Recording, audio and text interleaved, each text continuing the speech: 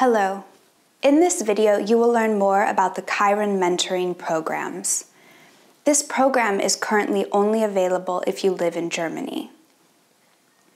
Mentoring means that you meet an experienced person who supports you with regards to your study or your career planning.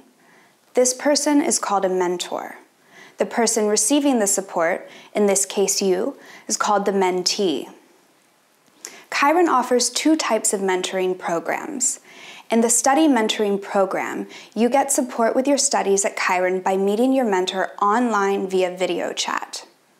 Together, you will work on learning strategies, goal setting, and on overcoming individual challenges.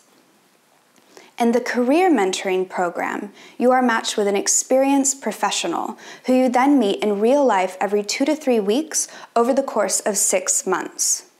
Together, you will work on developing career goals, an understanding of the job market, and on getting acquainted with working culture in Germany.